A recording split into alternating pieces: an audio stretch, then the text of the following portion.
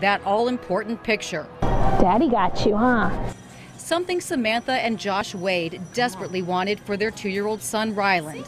He deserves to experience everything, and as his parents, it's our job to make sure that that happens.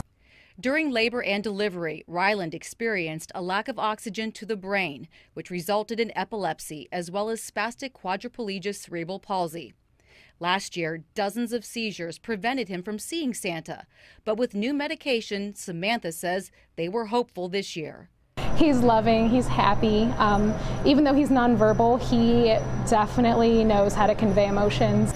And then they heard of something called a soothing Santa, offering a calmer experience for children with special needs. There's no loud music, nothing to overwhelm a child.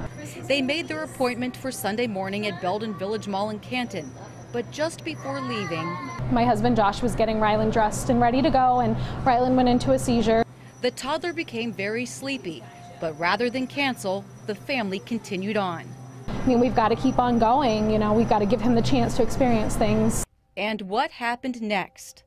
A truly magical moment between a small child and incredibly sweet Santa Claus. And Santa said that's just fine and took him, set him on his knee, and just put his arm around him, cuddled him.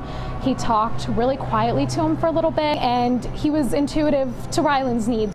Creating this extraordinary picture that's now inspiring other parents with special needs children and reminding us all what's truly important this holiday season. The whole experience was just more than I thought it would be. It was fantastic.